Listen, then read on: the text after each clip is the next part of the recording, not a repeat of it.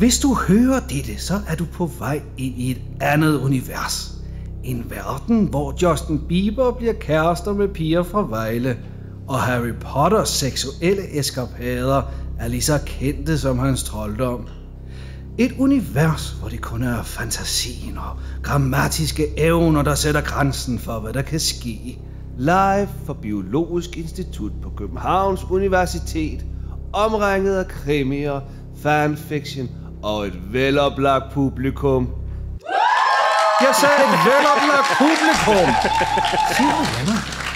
To gode venner, der er sat i verden for at læse alt dette højt for jer. Velkommen til sløjlæsning for evigt.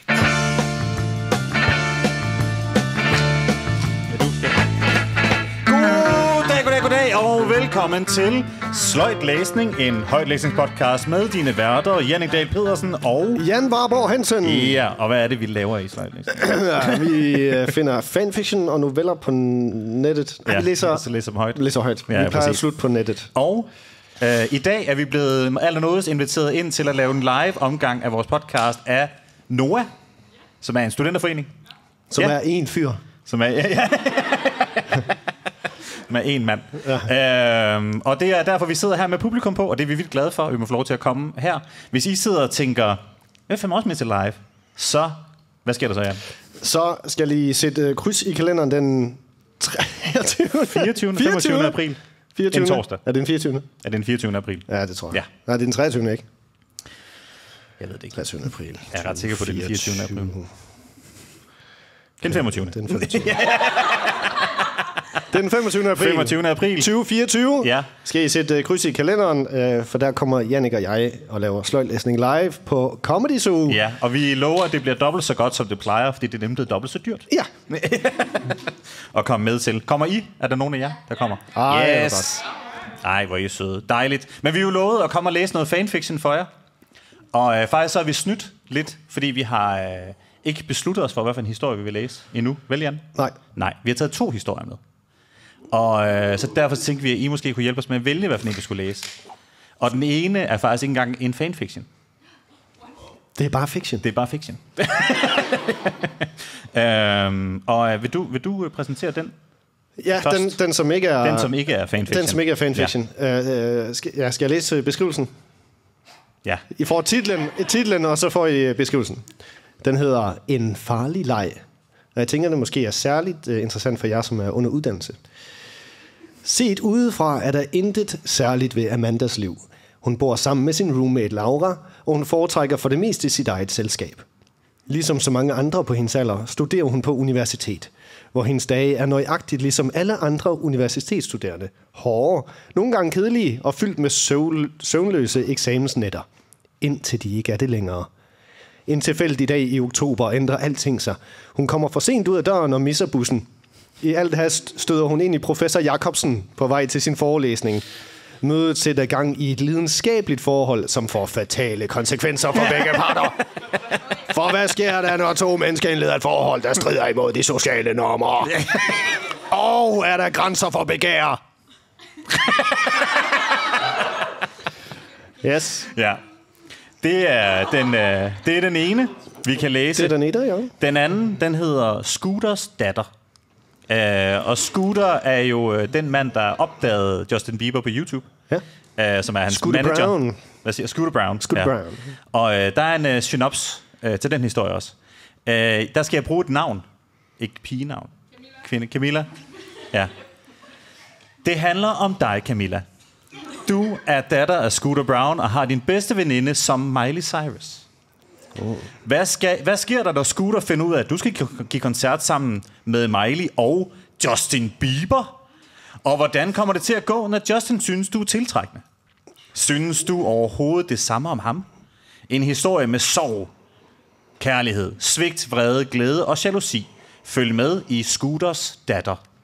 Og øh, jeg kan komme med en lille ekstra øh, ting, og det er, at Scooters datter er, så vidt jeg ved, MMA-fighter.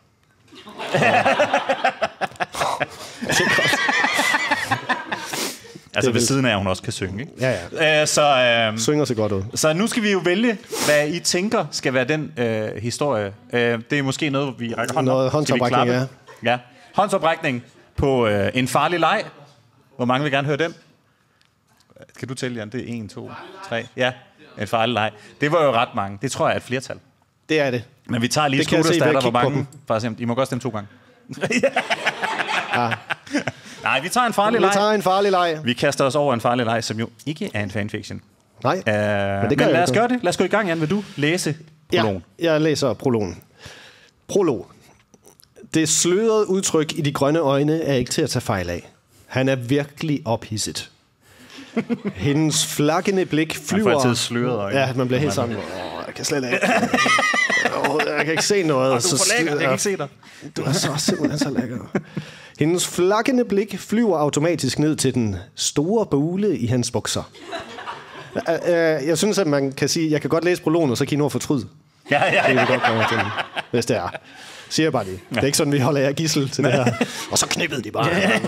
I 16 kapitler. Øh, store bule i hans bukser. Og hun undertrykker et gisp. Jeg...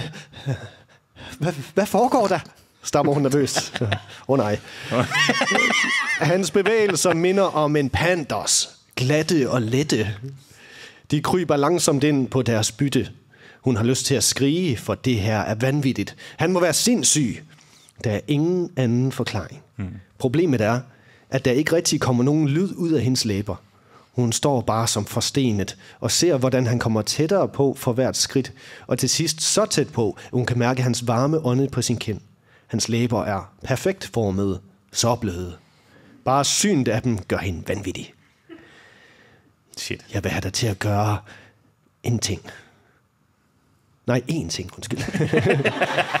jeg vil have dig til at gøre én ting, visker han tæt på hendes øre.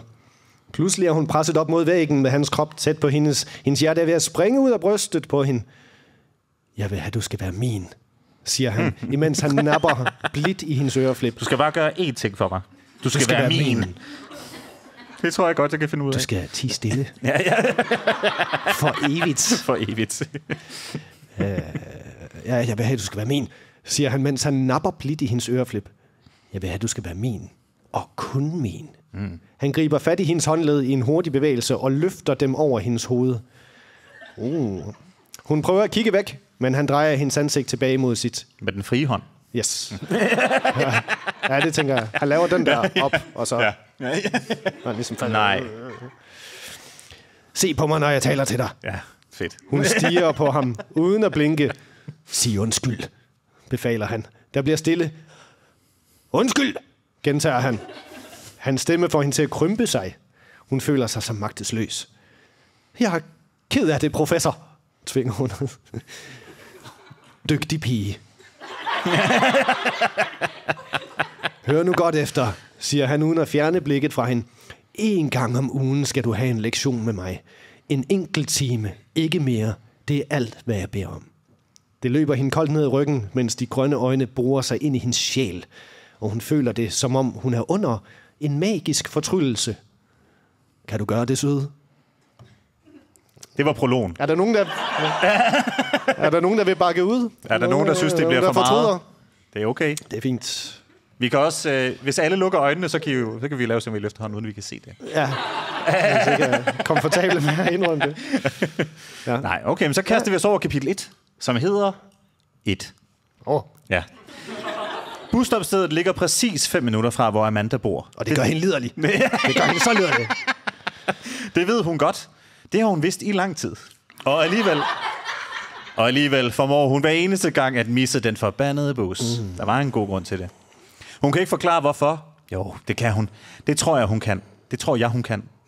Hvem, fanden er hun? Hvem, hvem snakker nu? det er Bilbo på en, eller, ja, på en eller anden måde fejlvurderer hun hver morgen, hvor meget tid hun har til at gøre sig klar. Mm. Fra at tvinge sig selv ud af dynen, træske ud på badeværelset, børste tænder, vaske ansigt, ordne hår og tage tøj på.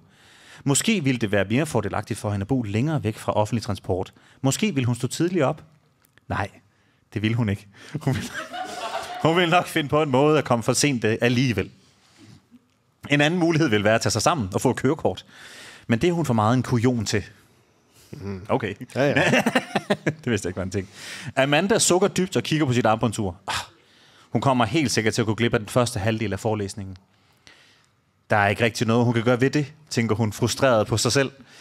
Det er hendes egen skyld, og hun gør det samme hver gang. Ja. Det er jo desværre for sent, så det må jeg jo så lære at leve med. Efter noget, der føles som en evighed, kommer bussen endelig trillende hen mod busstopstedet. Chaufføren tager sig god tid igen, som om han ved, at Amanda er sent på den, og derfor bevidst trækker tiden ud. Hun svinger sin taske over skulderen og sætter sig bagerst i bussen. Hun læner hovedet mod vinduet og skruer for musikken i sine høretelefoner. Det er en grå dag sidst i oktober. Bladene på træerne er lige begyndt at falde, og kombinationen af alle de smukke farver, gul, brun, rød, skaber et næsten malerisk look. Selvom efterårsferien næsten er slut, føler Amanda, hun har brug for ferie, fordi hun er ved at drukne i pensumlæsning og opgaver på sit universitet. Hun studerer dansk på 5. semester og brænder for det. Men det brænder hun bare for, du. Men nogle gange vil hun ønske, at hun bare kunne smide alt, hvad hun har i hænderne, rejse til et eksotisk sted og forsvinde for evigt. Turen til universitetet tager cirka en halv time. Hun skynder sig ud af bussen og går i retning af forelæsningssalen. Bygningerne er relativt nye og lavet af glas, hvilket giver dem et moderne look. Kun glas. Kun glas. Ikke andet. Meget moderne, synes Super Amanda. moderne. Amanda tager en genvej og skynder sig ned ad trappen. Hun kan se på sit ur, at pausen næsten er slut. Og hun vil nå det til starten af anden time. Ja, okay. Yes. Ja. Hun skubber døren op, bevæger sig igennem det lille kafeteria, drejer til højre og hammer direkte ind i væggen. Nej, det er ikke en væg, indser hun. Det er en mand. Og han har tabt sin taske og alle sine papirer ud på gulvet. Åh oh, nej. Det er jeg ked af, udbryder hun chokeret og kaster sig ned på alle fire. Hun, fa- Undskyld. hun svinger ham op ad væggen. Ja. Åh, oh, det er jeg ked af. Oh. Sig det så, undskyld. Nå, øh, det skal du ikke bekymre dig om, siger en dyb, hæs stemme. Øh, Rigtig godt. manden sætter sig på huk foran hende og begynder at samle sine ting sammen. Ud af øjenkrogen kan hun se, at han er iført sorte bukser og en matchende skjorte. Han må være professor. Åh. Oh. Ja, ja. Tøjet matcher. Han må være professor. Hun løfter hovedet, og deres øjne mødes. Et par grønne øjne, indrammet af lange sorte vipper, møder hendes brune. Hendes brune hvad? Hendes brune øjne. Åh. Oh. Uh, det er den smukkeste grønne farve, hun nogensinde har set før. det er godt. Uh, næsten en unaturlig grøn, tænker hun ved sig selv. Hun rejser sig og smiler høfligt til manden, som smiler tilbage. Hun undskylder en sidste gang, før hun skynder sig ned til forelæsningssalen igen. Mens hun går, er det så, hun kan mærke mandens blik dvæle ved hende. Men det er nok bare hendes fantasi. Ja, Ja. det er det sgu nok bare. Og så er den slut. Øh, den næste kapitel hedder 2. Forelæsningssalen er fyldt med snaksalige studerende, da Amanda endelig kommer ind. Hun scanner rækkerne efter sin gode veninde og får øje på hende på den anden forreste række til højre, næsten lige foran professorens bord. Så snart hun kommer derhen, krammer de. Det var pænt af dig at komme, siger Laura med tydelig sarkasme i stemmen. Haha, du er så sjov. Amanda sætter sig på sædet ved siden af hende og tager sin computer frem. Vores professor er virkelig lækker, siger Laura. Det synes jeg bare, du skulle vi- vide. Han er åbenbart ny og skal være her et stykke tid. Og så du er allerede forelsket i ham. Laura er ikke kendt for at holde sig tilbage, når det handler om at score den ene dreng efter den anden. Hun tager for sig rollerne. Hun tager for sig. og Amanda elsker at drille hende med det. Hun og Laura er så forskellige som nat og dag, når det gælder personlighed og udseende. Men alligevel klikker de godt sammen. Det må være deres fælles interesse for dansk, litteratur og bøger. Bøger. Bøger, Er du også interesseret i bøger? Ja, det er jeg. det er jeg virkelig. Elsker bøger. Elsker det. Både litteratur og bøger. Ja, ja. Jeg kan lide begge dele. Han er for gammel til mig, men stadig lækker i betragtning af sin alder, må jeg indrømme. Amanda ruller med øjnene. Hun læner sig ned og roder i sin taske efter sin vandflaske. Her kommer han. Typisk Laura at være så fixeret på det modsatte køn, tænker Amanda. Hun løfter hovedet, tager en slurk af sit vand og får direkte øjenkontakt med professoren. Et par intense grønne øjne. Hun får vandet galt i halsen og må tage sig sammen for ikke at bryde ud i et hosteanfald. Laura klapper hende på ryggen, men heldigvis er der ikke stille i lokalet. Og ingen, bortset fra professoren og Laura selvfølgelig, opdager, hvad der sker. Det var godt. Det var godt, ja. Laura kigger forundret på hende, og Amanda skal til at forklare. Men professorens stemme afbryder hende. Velkommen tilbage, siger han og hæver stemmen. Sæt jer venligst ned og vær stille. Den dybe, hæse stemme sender overraskende elektriske vibrationer gennem Amandas krop. Oh. Mit navn Hvad er, må det? øh, er Jacobsen, og jeg skal som sagt være jeres underviser i litteratur det næste stykke tid. Som vi gennemgik i sidste time, har synet på kvinder og kvinders rolle ændret sig markant gennem tiden og er blevet afspejlet på forskellige måder i litteraturen, begynder han at vrøvle.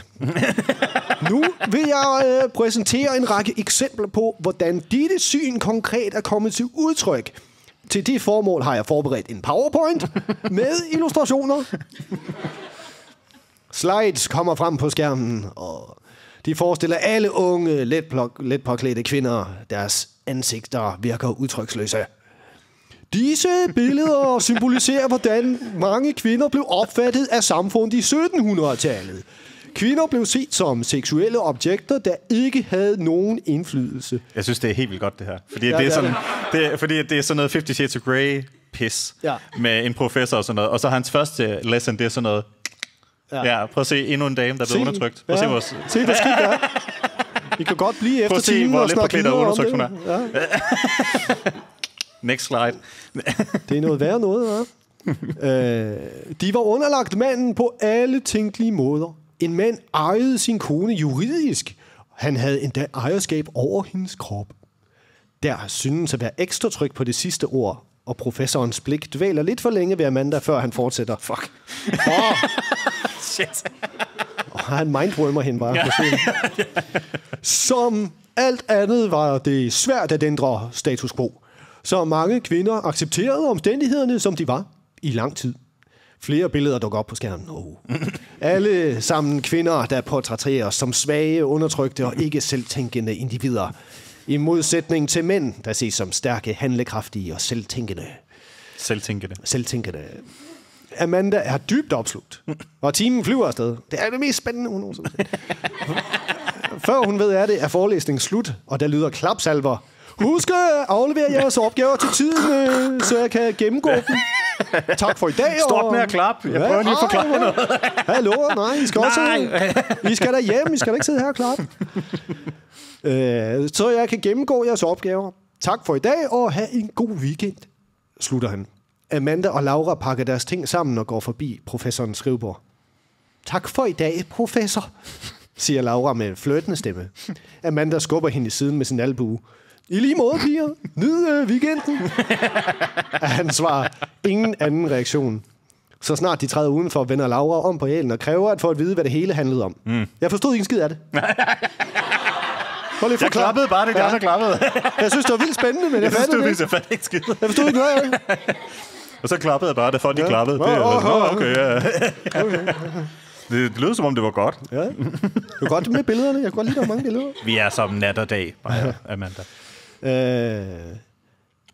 øh, hvad, hvad, hvad, hvad, ja, Laura, mm. øh, hun spørger... Hvad handler det Hvad om? handler det der om? Mm. Hvad mener du? spørger Amanda. Lad være med det. Du ved udmærket godt, hvad jeg mener. Jeg stødte bare ind i ham ude på gangen, og så blev jeg ved med at få øjenkontakt med ham. Det er sikkert ikke noget, mm. forsvarede Amanda så. Ulala, jeg tror, at herr Jacobsen er lidt lun på dig, driller Laura. Hold nu op. Ja, ja, men det vil ikke skade dig at komme lidt ud af din komfortzone. Mm. At have et forhold til en processor... Processor? Processor. Det var mig, undskyld. Mm, processor. Mm, Vil du med så meget spise computer chips? At have et forhold til en professor er ikke bare at træde ud af sin komfortzone. Det er ligefrem uhyggeligt og kan koste ham jobbet. Mm. Jeg laver selvfølgelig sjov. Kom nu.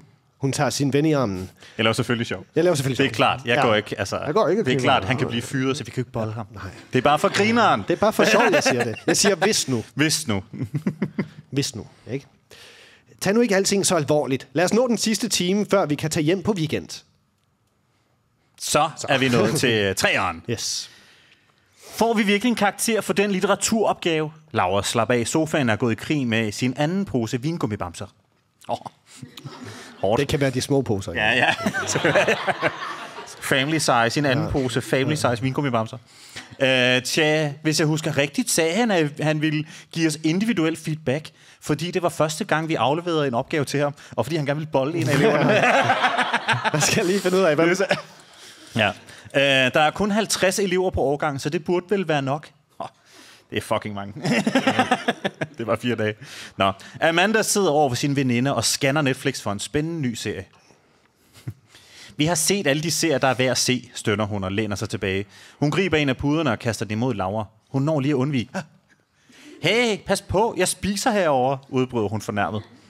Det er det, der er problemet. Du spiser hele tiden, og jeg køber hele tiden slik, bare så du kan kigge i mine skaber og spise det hele igen. Nå, okay.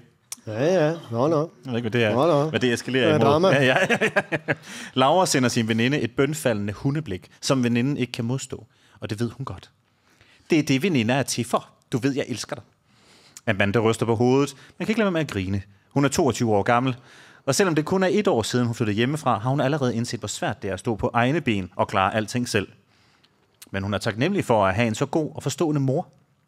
Hun er enebarn, og hendes forældre blev skilt, før hun fyldte et år. Så hendes, jeg håber, det her det bliver aktuelt på et tidspunkt. Det giver det hele mere vægt. Ja. Så hendes mor opfostrede hende alene, mm. og hun har fuld respekt for, at hun klarede sig så godt, som hun gjorde på egen hånd. Mm. Ja. Ja, så hun har daddy issues. Ja, det er det. Det er jo det. det. det, er det. Der mangler en far. Der mangler en far. Der mangler en far. Satans også. Nå, heldigvis bor hendes mor heller ikke så langt fra hende, og de besøger ofte hinanden. Enten Laura eller hendes mor holder hende med selskab, så hun er meget sjældent alene. Og hvis hun skulle føle sig ensom, har hun altid mulighed for at flytte hjem igen. Okay. Ja, ja. du flytter bare hjem igen, hvis du vil, skat. Det er det ikke noget problem. Ja, mor. Helt sikkert. Ej, jeg vil elske at bo derhjemme. Um, hun synes bare, det er vigtigt at kunne vise, at hun er selvstændig. Så, det, så som det ser ud lige nu, er hendes valg at bo ude. I hvert fald, mens hun studerer. Måske når jeg er 30, jeg flytter hjem. Ja, det det tænker jeg kan på. Når jeg lige er færdig med at studere. Når jeg er færdig med at studere, så kan det godt være, at jeg flytter hjem til min mor igen. Ja. Nu håber jeg ikke, der er nogen, der overvejer det. Det er okay. det var bare for sjov. Det er okay lidt. Ja. det er okay, fordi you do you, men det er mærkeligt for alle andre. Uh, jeg drømte faktisk, jeg drømte faktisk om herr Jacobsen i nat. Så står der, nej, der står, jeg drømte faktisk om herr Jacobsen i nat. Jacobsen i nat, siger Laura med et sk- skælsk smil på læben. Er det noget, jeg har lyst til at høre om? Sukker Amanda. Nå, det er Laura, det er hende den anden. Der, Hvad, ja, okay. Jeg undrer mig bare over, hvordan hun har drømt om hende inden deres første time. ja, ja. det, Eller om ham hedder det. Ja. Jamen, hun har jo set ham. Det han, havde- hun finde han starter også ud med at sige i går, Nå, der han skete det? det her, ja. Nå, så det, er Amanda, fordi, hun er en... det er fordi, hun kom for sent op til øh, timen dagen første før. time. Ja, det er der. Nå, nej. Ja, det, fuck, det er ikke Det er der. Det var os derfor, lige finde ud af Den det. første time. Nej, Nej, nej, du har ret. Jeg tror det. Ja. Er, der noget, er det noget, jeg har lyst til at høre om? Sukker Amanda. Sikkert ikke, men jeg fortæller det dig alligevel. Typisk Laura. Hun gør altid det stik modsatte. Så skulle hun jo have bedt hende om at fortælle. Ja, ja spis, spis mere Hvis hun slik. godt ved det. Ja, ja. ja. Vil du ikke spise alt mit slik? Vil du ikke spise alt mit slik? Øh, ej. Nej. nu kan jeg jo Det ikke. gider jeg ikke. Nå. Det startede med, at vi var i en slags dagligstue. Det var bare mig og professoren. En eller anden slags dagligstue. Det var en dagligstue, men det var ikke en dagligstue. Nej, Det var sådan- men det var også sådan en køkken, men det var også en Men det var også... Ja. Øh, det var bare mig og professoren. Vi sad bare der og stirrede på hinanden. Og så pludselig kastede han sig over mig, og jeg vågnede med et sæt. Hun holder en pause. Kan jeg vide, hvad det betyder? Hm. Det må være noget med, at jeg, min far han flyttede tidligt. Nej. Nå, kan jeg vide, hvad det betyder? Amanda rejser sig og går ud i det lille køkken for at hente et glas vand, mens hun siger, det betyder absolut ingenting, for det er bare en drøm. Og hun er misundelig. Men hvad nu, hvis det betyder noget, spørger Laura. Hvis, hvad hvis det er en slags advarsel om noget, at der snart vil ske noget, spørger Laura og stiger ud i luften. Det er så dramatisk. Vær nu ikke fjollet. Jeg tror, du har fået alt for meget sukker, og det er sukkeret, der taler lige nu. Det er sådan en sukkerforvildelse, du har gang i. Du er syg. Du blev syg hovedet af det. Resten af aftenen går stille og roligt. Så efter det, så snakker de ikke. Ja. Hver søndag... Nå, siger, hvad står der? Resten af aftenen går stille og roligt. Hver søndag mødes de to veninder til en film- og seriemarathon. Oh. Amanda elsker at putte sig med sine dyner og puder og nyde øjeblikket med sin gode veninde. Hun elsker at forsvinde ind i en anden magisk verden, hvor alt er perfekt. En verden, hvor det hele ikke handler om skole og hverdag. Men selvom hendes øjne stadig er fokuseret på fjernsynet i aften, er hendes hjerne, takket være Lauras forbandede drøm, et helt andet sted. På professoren. Nøj. Hendes hjerne er på professoren. Lad os se, om hendes, om hendes krop kan følge med derover. Ja. 4. Hvis der er noget, Amanda virkelig afskyer, så er det at blive bedømt af andre mennesker. Hun hader, når nogen fortæller hende, hvad hun kan gøre bedre, og kritiserer hendes evner. For hun er en sand perfektionist. Og det hjælper ikke, at den person er en lækker professor, som hun på en eller anden måde ikke kan få ud af hovedet. Fandens også. Hun banner sagte for sig selv, da hun mærker en nervøs hikken snige sig ind på hende. Nej, det gør du ikke. Okay, en åndssvag krop. Det gør du ikke imod Det gør mig. du krop. Du ved godt, det er mig, der sikkert tryk- sidder på ROF-knappen. Giv dig, en- giv dig mavepumper. Jeg slukker dig sådan. Jeg drikker mig fuld. Jeg er ligeglad. Jeg lover det. Så du får det skidt. Heldigvis er hun for en gang skyld i god tid, og har derfor mulighed for at dulme næverne. Nå, okay. Hun råder i sin taske efter sin vandflaske og tager en enkelt slurk. Åh, oh, det hjælper. Åh, oh, vand. Hun forstår ikke rigtigt, hvorfor hun er så nervøs. Hun ved, at jobbet er godt, og konstruktiv kritik er aldrig en dårlig ting. Inde i sit hoved gentager hun ordene, konstruktiv kritik er godt. Flere gange i træk, indtil døren går op, og en Nå, medstuderende hun skal ind til kommer ham nu, ind til professoren. Ja, ja, ja. ja. Og Hun det er, med hun, jobbet er godt. hun er Det sådan, nej, men, altså, men jeg det er tror, well good, good work. Ja, Jeg tror, ja. det er det, hun mener. Uh, hun smiler til hende, og Amanda smiler tilbage. Hun rejser sig og går ind. Professorens kontor er lille, men behageligt. En stor bogreol dækker hele højre hjørne af rummet. I venstre hjørne er der en sofa med plads til to personer, og i midten et skrivebord med en stol foran. På skrivebordet okay. står en computer. Det er meget småt derinde. Ja, men der er to alligevel, sofaer. Ja, Og en ja, reol der og er reol og og sofa. Ja, og, og, en, re- og og skrivebord i midten. Ja, ja, der er det hele, du. Ja, ingen vinduer. Nej. På skrivebordet står en computer, stakkevis af papir og opgaver og en kande vand. Uh, en kande vand. Det må være et ret stress, stressende job, tænker hun. Han kigger op og rejser sig. Sid ned, siger han høfligt og peger på stolen. Hun gør, som man siger, og venter. Amanda, jeg synes, at det er en meget fin opgave, begynder han. Og hun kan mærke, at hendes krop straks begynder at slappe af. Åh, oh, det var godt. Som om en tung byrde er blevet løftet fra hendes skuldre. Du har bestået din opgave. Du har mange gode pointer, især dine analytiske argumenter er stærke, forklarede han. Når du beskriver den unge Victoria som et objekt for mandlig beundring og fanger hele ideen om, at øh, forfatteren bevidst har valgt, at hendes kjole skal være hvid til at begynde med, fordi hun er jomfru, og det symboliserer udskyld. Femte semester. Rigtig øh, Femte semester. big brain stuff, det er gang her. Han taler langsomt. Den måde, han udtaler ordene jomfru og uskyld på, som om han smager på dem. Får det til at løbe koldt ned ad ryggen på hende. Men varmt ned af fissen. Det er som om de grønne øjne holder nøje øje med hende og fastholder hendes blik som en sulten løve, der har fanget sit forsvarsløse, skræmte bytte. Fanget! Fanget! Det står der. Fanget! Jeg blev da fanget af ham. Øjenkontakten er så intens, at hun et kort øjeblik er nødt til at kigge væk. Victoria er en ung kvinde. En meget ung kvinde. Som er ren og uskyldig. Hun har aldrig været sammen med en mand før. Uanset øh, hvor hun går hen, bliver hun beundret observeret af mænd og deres sultne øjne, fortsætter han. Og Amanda kan se, at han er forsvundet ind i et univers. Står med sådan, under, står med benene ind i en portal. Helt hård. Vælter ting på bordet, når han går rundt. Det, hun, er, hun er bare... Hun kender vand. Og, Hun er et objekt. Ja. Uh, sådan, så, og sådan fortsætter det, indtil hun en dag bliver voldtaget af en mand. Det står ikke direkte i teksten, at hun bliver voldtaget.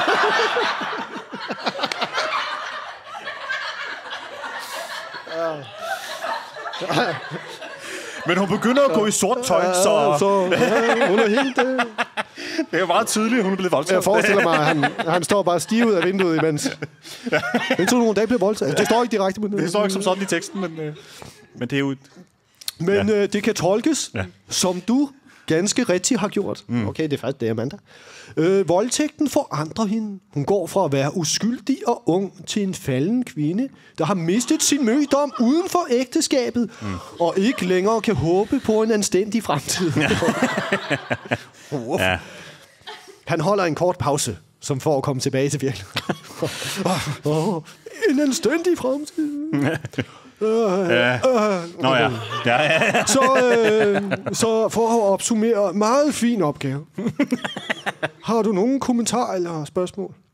Hun hader sig selv for at udstråle så meget usikkerhed. Det er tydeligt i hendes stemme, det lyder, der, som lyder så lille og skrøbelig, når hun siger, Nej, professor. Selvom det kun er et øjeblik, er det umiskendeligt. Amanda ser, hvordan hans pupiller udvider sig. Og hans, og hans syn bliver sløret. Før alt bliver normalt igen, og han rødmer.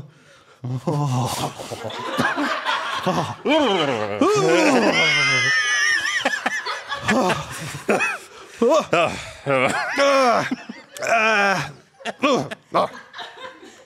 Åh, nå, nå. Så er vi vist færdige for den gang. Håndtrykket er fast.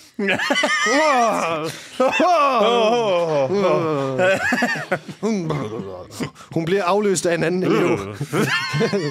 Går udenfor og spekulerer i en døs på, om der er noget galt med hendes forbandede hjerne. Hold da kæft. Ja, ja, det er rigtig godt. Det er rigtig godt, det her. Ja. Nå, fem. Dagene og ugerne går, og Amanda glemmer alt om professorens mærkelige opførsel. Hun har travlt og begraver sig i den ene pensumtekst efter den anden. Hver eneste vågne time bliver simpelthen brugt på universitetet. Der er knap nok tid til en cafetur, eller endda til, at hendes egen mor kan komme på besøg. Og Laura, ja, hun er i præcis samme båd. Men en mandag... Men en mandag! Men en mandag! Midt i to Den timer sker der noget. alle dage. Oh. En begivenhed, der viser sig at få fatale konsekvenser for Amandas liv. Du godeste. Hun er på vej ned til kantinen for at købe en kop kaffe, men beslutter sig for at gå på toilettet først. Og så er der udsolgt. I sit hoved lister hun de passager op, som, næsten, som netop er blevet gennemgået i klassen. Hendes hoved har været begravet i så meget læsning på det seneste, at hun ikke længere kan forhindre sin hjerne i at få sit eget liv. Det er intens nok. hun skubber døren til badeværelset op og skal lige til at lukke den bag sig, da hun mærker en mands arm tage fat om livet på oh. hende og skubbe hende fremad. Låsen bliver hurtigt drejet. Han har ikke set hende. Han skal bare skide sygt meget. Hvad flytter man Jamen, så kom med ind. Ej, hvad er du for en frækkert? Og hvad er du? Hvad er for... Er det her en del af det? uh, no, Amanda, jeg ved ikke, hvem du er. Jeg ved ikke. Hvad så er dit frækkert? Sidder du bare der og skider? Stop, hvad er du? Gå, Gå nu Hvem væk. er du? Gå nu væk. Det er mig fra timen. Det er mig Nå. fra tiden. Nej, det er... Uh, låsen bliver hurtigt drejet om. Amanda vender sig om og ser til sin forskrækkelse, at det er professoren. Åh, nej. Det er sløret udtryk i hans grønne øjne er umiskendeligt. Hvorfor har han, han er grus der? Uh, han er seksuelt ophidset. Shit. Okay, nu skal vi lige alle sammen slappe af. det slørede udtryk i hans grønne øjne er umiskendeligt. Han er seksuelt ophidset. Han er virkelig, virkelig seksuelt ophidset. Hendes blik flyver automatisk ned til den store bule i hans bukser. Og nu kommer det, det hele prologen. Jeg, hvad, hvad sker der? Stammer hun nervøst. Hans bevægelse minder som en panders glatte og lette. De sniger sig langsomt ind på deres bytte. Hun har lyst til at skrige, for det her er vanvittigt. Han må fejle noget. Det har vi jo læst alt det her. Ja, det er jo prologen. Nå, okay. Det er for det, ligesom springer, det springer han da bare over. Det er Ja, ja, ja. Det er alt det der. Sig undskyld. Ja, sig undskyld. Jeg vil have dig til at Sig gøre undskyld, fordi du ting. skider foran mig. Jeg vil have, at du, jeg, jeg, vil have, du, jeg vil have dig til at gøre én ting, visker han tæt på hendes øre. Jeg vil have, du skal være min.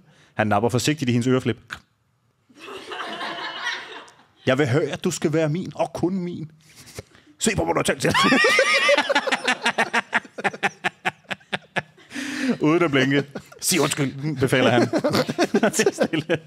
Undskyld. Undskyld. Gen, undskyld, gentager han. Hans stemme får hende til at krympe sig, hun føler sig magtesløs. Nå, men så spørger han jo, om, øh, om hun kan det. Og så Amanda er som i en trance, mm. mens hun lydigt nikker som svar. Dygtig pige. Og så placerer han sine læber direkte mod hendes, og sender en række elektriske stød gennem hendes krop. Ingen tanker strejfer hende. Ingen tanker strejfer hende. De kører udenom hende. Øh, Og jeg på vej Nej, jeg skal ikke, derover. jeg skal ikke, jeg skal ikke. Skrig, nej. Oh. Nej. og hun føler, at hun bliver blød som smør, og er villig til at gøre hvad som helst for at sikre, at han ikke stopper. Som smør. Så længe han ikke stopper.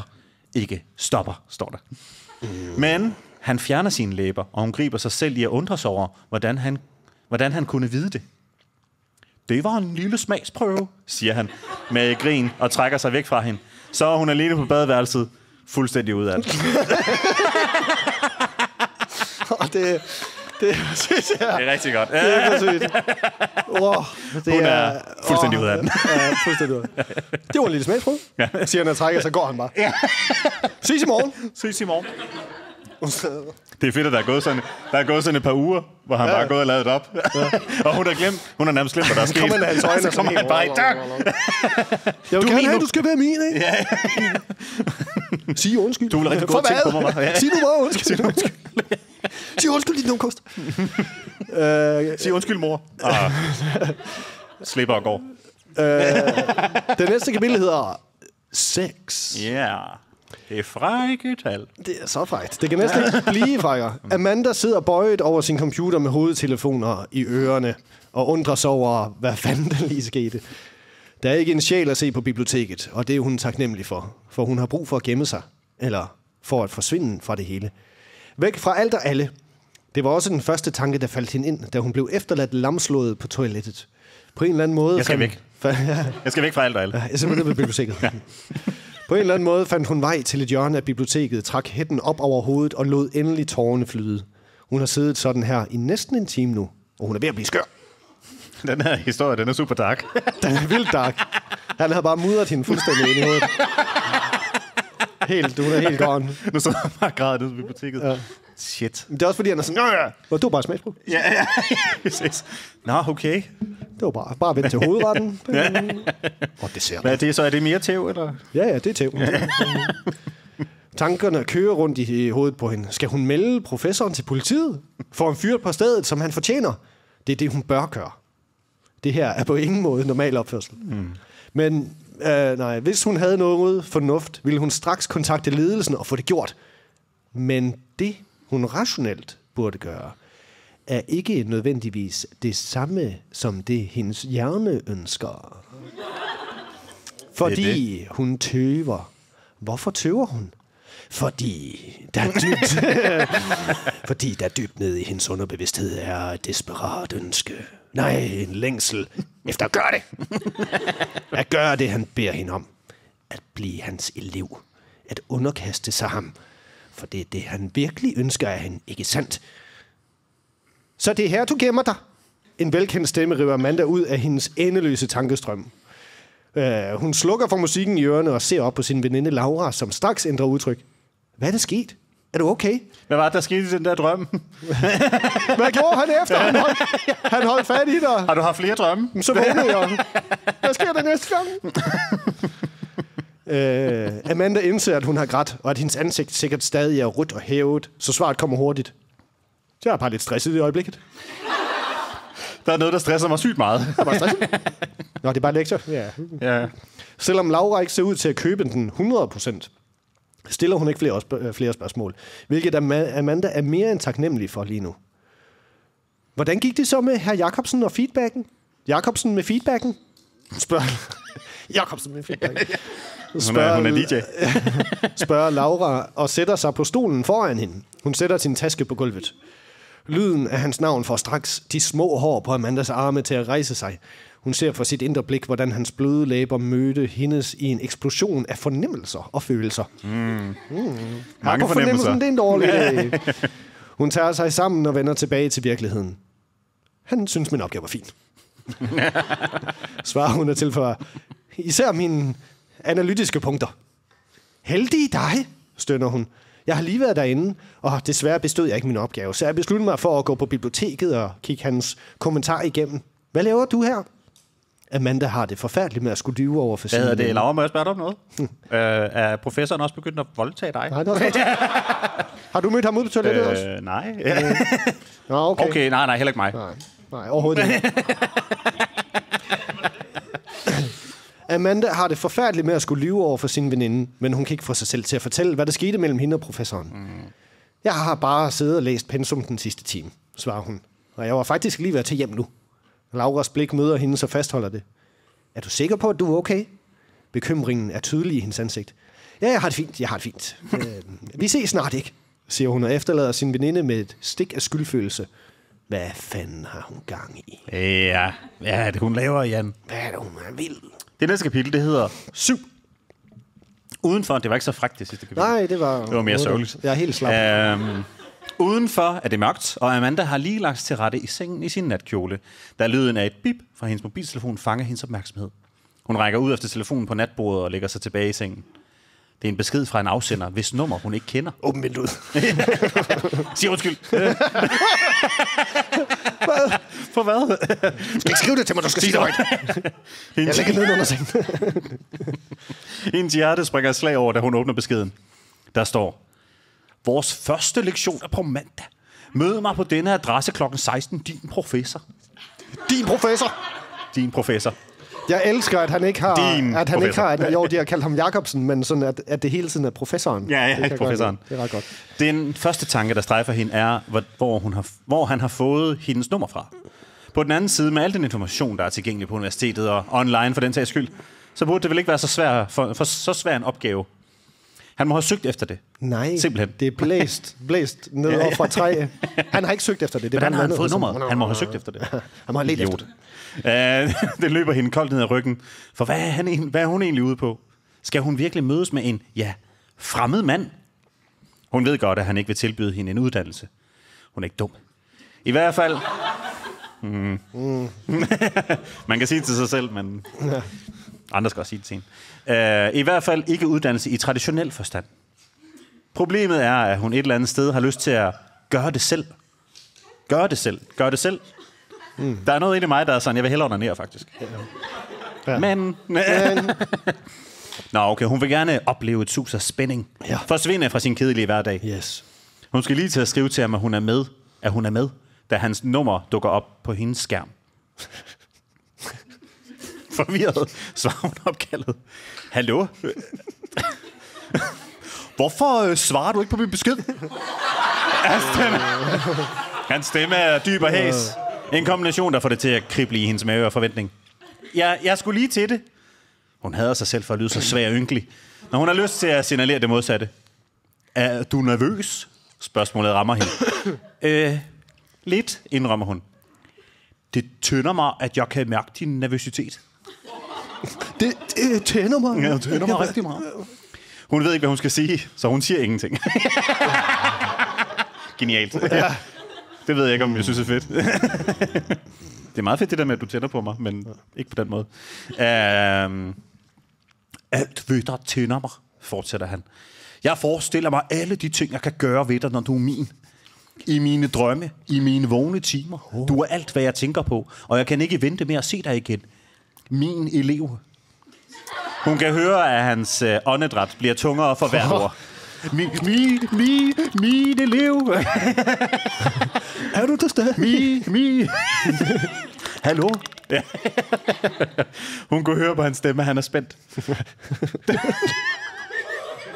Det er sygt. Det er nu, det er nu, hun Det er skal, nu. det er nu, det er nu, hun skal tage sig sammen og fortælle ham, at hun ikke vil være en del af det. Du, du skal møde, møde mig hver mandag. Hver, hver mandag vil du være min, og, og du vil gøre, som jeg siger. Du skal ad, adlyde enhver kommando. Forstår du det? Amanda, Amanda er så lamslået mm. af hans ord, at der ikke kommer noget ud af hendes mund. Mm. Svar mig, når, når jeg stiller dig et spørgsmål. Der kommer ikke noget. Ja, ja, sagde, svar mig. Snager han irriteret. Jeg forstår, for hun endelig fremstammede, og det føles... Åh, oh, det var Nå. Vi ses. Øh, og det føles, som om hun er ved at blive kvalt i sine egne ord. Uff, det, er, det er blevet rigtig dragt, det det, det er ikke sådan, Hun er ikke sådan med på det på en sjov måde. Nej. Hun er med, fordi hun ikke ved, hvad hun skal gøre. Hun er malet op i et hjørne. Ja, det er det. Nå. Øh, okay, jeg forstår, for hun endelig fremstammer. Det føles, som om hun er kvalt i sine egne ord. Øh, ja, det skulle jeg ikke grine af. Hvad hedder det? øh, Når du møder mig på mandag, skal du have en kort nederdel på. Hvorfor, tænker hun. Hvorfor, tænker hun, og bider sig ubevidst i læben. Fordi, fordi at jeg vil fremhæve dine lakke stikker. Og det... Shit, er mand. Det. Fordi jeg vil fremhæve dine lange stikker. Og det er forklaring nok, siger han. som om han kan, som om han kan læse hendes tanker. Og så er forbindelsen afbrudt. Åh, oh, okay, sygt. Hun sidder tilbage og stiger tomt ind i væggen. Med rystende hænder lægger hun sin mobiltelefon tilbage på natbordet. Det er så lang tid, før hun falder i søvn. Langt over midnat. Ej, hvor er det forfærdeligt, Jan. Det er frygteligt. Det er frygteligt. Det er frygteligt. Jeg tror, hvis man har det sådan her, så skal man ikke... Så er man ikke Nej. eller sådan... Så skal man ringe til politiet. Ja, ja, ja. Det skal man. Men nu ser vi, hvad der sker her. Og det er svar nok. Du, du, du. Og jeg har helt øh, til at spytte på mikrofonen. Ja, Jeg var i karakter. og det er forklaring nok. Ja. Det næste kapitel hedder 8, 8. Da mandagen endelig kommer, er hun både mentalt og fysisk drænet for energi, fordi hun har gået rundt med den største klump i maven fra morgen til aften. Herr Jacobsen har ikke så meget som kigget på hende, og lader som om der absolut intet foregår mellem dem, mm. hvilket kun har gjort hende endnu mere nervøs. Men igen, hvad skulle han gøre? hvad skulle han gøre? Hvad skulle han gøre? Han er nødt til at være forsigtig, og det gælder dem begge. Han er ikke super forsigtig, synes jeg ikke. Nej. Han har ikke sagt, du må ikke sige til nogen. Nej, for eksempel. Der må ikke være nogen mistanke om, at de er ved at indlede et forhold. Hvad er de? Er de det? Er de det? Amanda kæmper for at koncentrere sig de sidste to forelæsninger. Hendes øjne er konstant fokuseret på det store ur i højre hjørne af lokalet, og hvordan de små viser bevæger sig i takt. Tiden flyver, når man er opmærksom på den. Laura er helt opslugt af timen og lægger slet ikke mærke til noget. Amanda er overrasket over, at Laura ikke har undret sig over noget på det seneste. Ikke noget overhovedet. Måske er hun bedre til at holde masken, end hun selv tror. Da viserne endelig viser, at klokken er 15, rejser Amanda sig. Ikke da klokken er op. 15, men da viserne endelig viser, Ja, at det, klokken det er 15. endelig viser. Endelig. Rejser Amanda sig bræt op. En stor fejltagelse. Hvor skal du hen i sådan en fart? siger Laura, og Amanda har lyst til at slå sig selv i hovedet, fordi hun er så dum. øh, min mor får besøg fra klubben i dag, og jeg har lovet hende at købe nogle ting fra hendes liste. La- Laura kender til klubben af strikkeglade kvinder, som besøger Amandas mor i ny og næ. Amandas mor, hun er ekstra glad. Ja, hun er men der ikke. kommer en gang Kommer med sådan, flok strikkeglade kvinder. Luk os ind. Lad mig, jeg skal sidde her. Tænd for DK4. Strik hende fast til stolen. Strik nu håndjern. Og når de kommer, skal alt være i den skønneste orden. Hun nikker som svar. Og Amanda giver hende et kram, før hun skynder sig ud af rummet. Hun indser, at hvis det her skal fungere, er hun nødt til at komme med en god undskyldning på præcis samme dag og på præcis samme tidspunkt. Hun tænker ikke mere over det og sætter kurs mod bussen, der skal køre hende til professorens adresse. Nå, det er hjemme. Okay. Åh oh, nej, så har han sådan en sex dungeon. Nej, det kan godt være, det bare er et eller andet parkeringsplads, jo. Ja, det er selvfølgelig rigtigt. Ja. Det tager Velkommen til cirka... mit ydmyge hus. Sådan en varevogn. Kan du lide min kasse?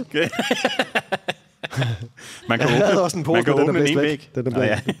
Jeg kan lige warme op her. Så, man, der, så der kan komme igennem træk. Det tager cirka en time, før bussen stopper, og hun stiger af. Det er en ret øde villavej, tænker hun for sig selv, mens hun følger husnumrene. Professorens hus ligger for enden af vejen. Det ligner et almindeligt murstenshus med en altan.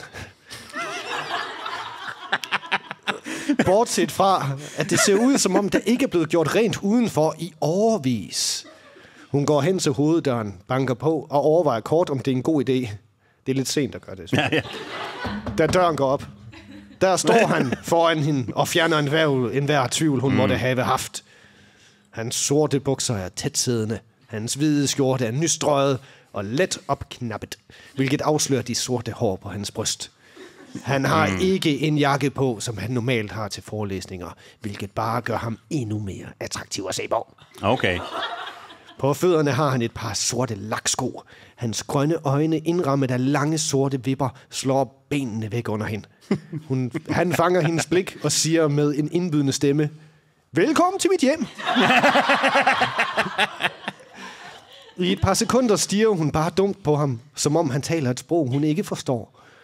Han griner på den der drengede måde, der får ham til at se 10 år yngre på. Og øjeblikkeligt varmer hendes hjerte. Hun kan mærke, at hendes kinder gløder, men tvinger sig selv til at tage sig sammen og træder forsigtigt indenfor. Hvad hedder det? Det, det kunne være et godt tidspunkt at have en pause. Ja, det kunne det faktisk, ja. Hvis vi skal have det. Det er rigtig godt. Ja, så slipper vi altså historien for nu. Resten må du høre i næste afsnit. Husk, at du kan følge sløjtlæsning på Podimo, Spotify, Apple Podcast. Ja, faktisk samtlige steder, du hører podcast. Hvis du gerne vil støtte sløjtlæsning, så er den bedste måde at dele podcasten med dine venner, eller ved at skrive en anmeldelse af den på din yndlingsplatform. Så ved algoritmen nemlig, at det er godt stof. Sidder I derude på en historie, som vi gerne vil have læst højt, som I enten selv har skrevet eller læst, så hold jer ikke tilbage. Find os på Facebook eller Instagram. Send den til os hurtigst muligt, så lover vi at kaste os over den i et kommende afsnit. Tusind, tusind tak, fordi du lytter til sløjtlæsning.